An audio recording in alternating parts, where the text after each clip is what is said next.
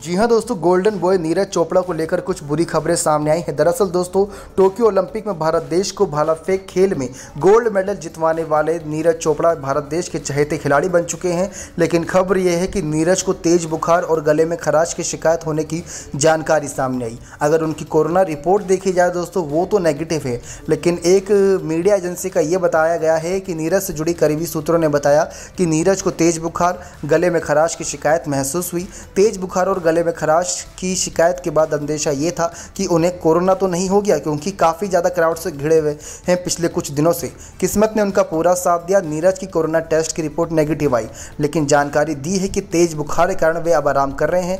बता दें कि देश के लिए गोल्ड मेडल जीतने से वे रातों रात तमाम युवाओं समेत सभी की आँखों के सितारे बन गए। ऐसे में उनकी बीमारी की खबर सामने आने से उनके चहेतों में चिंता की लहर दौड़ पड़ी है।